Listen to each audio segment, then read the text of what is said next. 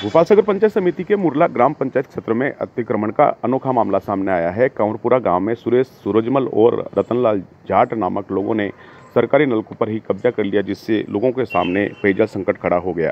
तो गाँव कंवरपुरा के अंदर लगभग आज से 16 साल पूर्व ग्राम पंचायत द्वारा एक ट्यूबवेल लगी हुई है और उस ट्यूबवेल से पूरे गाँव में पानी की सप्लाई होती, पूरा गाँव पानी पीता है।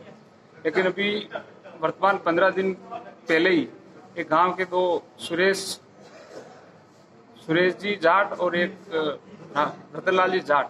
उन्होंने उस ट्यूबवेल पर ताला लगा दिया और पानी की सप्लाई भी बंद कर दी।